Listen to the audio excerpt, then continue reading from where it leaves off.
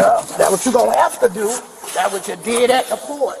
A Tampa police officer is fired after dragging a woman across the ground following her arrest. Body cam and security footage showed the disturbing incident unfold. Stand You Stand want up. me by your Stand up. You want me by you can't pick my Stand- can That's what the officer was jealous Stand up. Come on. It happened on November 17th when Officer Gregory Damon responded to a call for a woman sleeping outside the Tampa Family Health Center. Callers said the woman refused to leave. Come on. Walk to my car.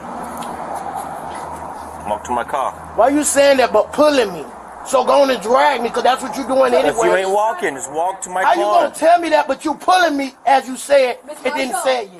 Officer Gregory Damon arrested the woman for trespassing and took her to Orient Road Jail. Upon arrival, she refused to get out of the squad car. Get out the car. When the I got the right to get out the car when I had a right to get in the car. Miss Marshall. Hmm. Get out the car. Come on. Body camera video shows Damon arguing with a woman, saying he will drag her out of the car. Go get some Miss Marshall. I'm gonna drag you out of this car. I already know. I don't want want to drag you out, me. but I need you to come I get out the car. you so we to can do what you did off the porch of the doctor's office. The woman can be heard urging the officer to drag her.